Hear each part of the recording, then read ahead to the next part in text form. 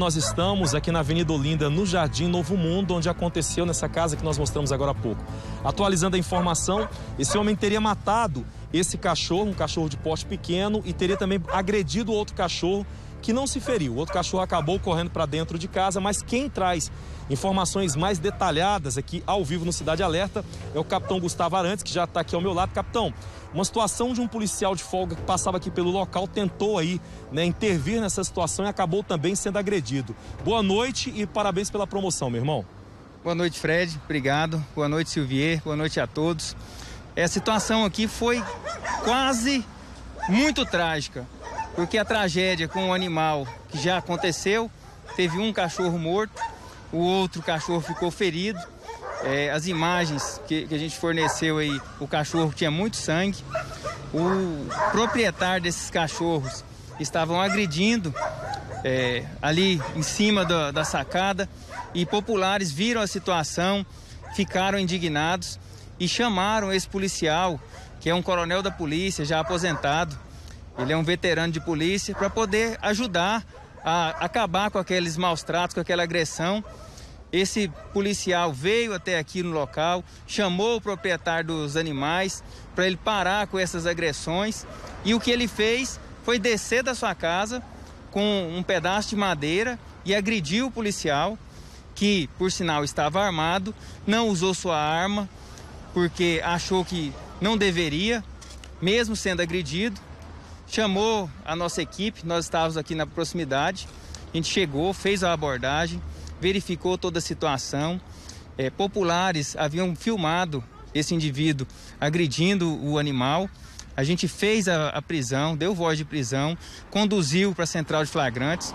Ele vai responder por dois crimes: o crime de maltratos a animais, que hoje, com a nova lei, vai de dois a cinco anos, então não dá nem direito à fiança. Ele vai ter que passar amanhã pela audiência de custódia e também vai responder pelo crime de lesão corporal a agente de segurança pública. Capitão, nesse caso, esse, esse rapaz, ele inclusive já tem uma passagem pela polícia por porte de arma de fogo.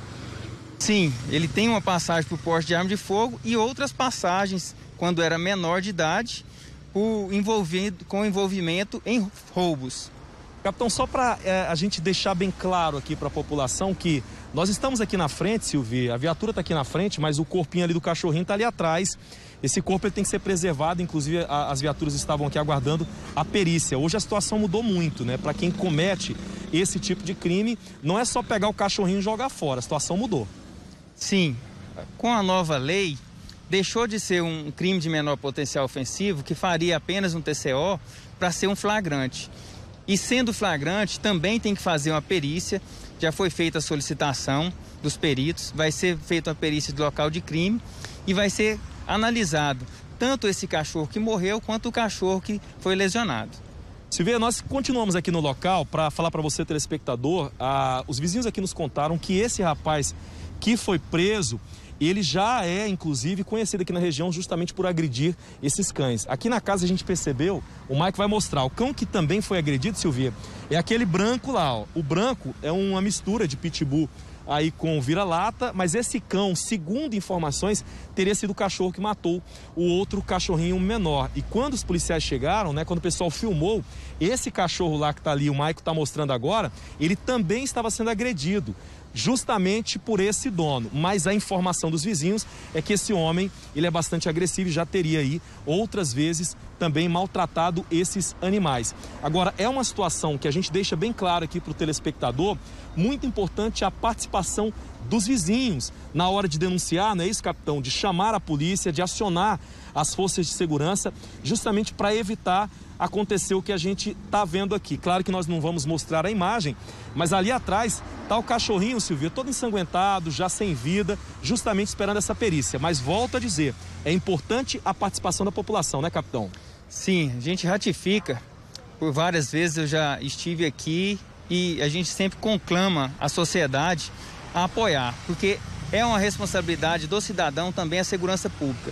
Então, todos os crimes que acontecerem, informe a Polícia Militar, ligue no 190, ligue via, no número da viatura ou ligue no, policial, no telefone particular de um policial conhecido seu e denuncie. toda denúncia a Polícia Militar vai averiguar. E tendo situação de flagrante, vai ser feita prisão ou dadas as medidas necessárias para o local. Olha, Silvia, nesse momento a gente inclusive presencia aqui, ó, o pessoal da Polícia é, Científica de Goiás chegando aqui no local, como o capitão deixou bem claro agora há pouco. Eles vêm mesmo no local, né, o corpinho ali do cachorrinho tá ali, eles vêm para fazer essa perícia. Então, por que que nós estamos mostrando? Para que a, a população, para que o telespectador entenda que a coisa agora mudou né? A coisa mudou, eles estão chegando aqui para fazer essa perícia. O local de crime, ele foi preservado, os policiais permaneceram aqui o tempo todo. O corpinho do cachorro que tinha sido jogado no lixo, ele foi recuperado. Isso não pode acontecer quando tem um crime como esse.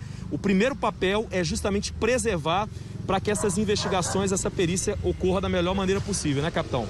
Exato. Agora, o crime de maus tratos a animais, quando se refere a cães e gatos, não é apenas um termo circunstanciado de ocorrência. É lavrado um auto de prisão em flagrante. E isso pode acarretar de dois a cinco anos de prisão para o agressor.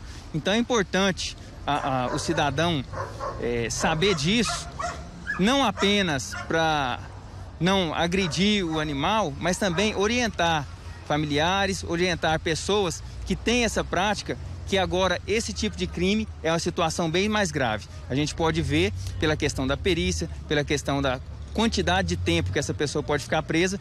Então é importante salientar que esse crime de maus tratos a animais, em se tratando a cão e gato, é um crime hoje com pena muito alta. É, a gente agradece a participação do capitão. Vou mostrar ali, já encerrando minha participação aqui, Silvia, mostrando nesse momento a perícia chegando ali, conversando com vizinhos para que esse trabalho seja feito. Silvier? Obrigada, Fred. Eu agradeço demais aos policiais militares. Que judiação, né, gente? Tem gente que não serve para ter bicho também, né? Tem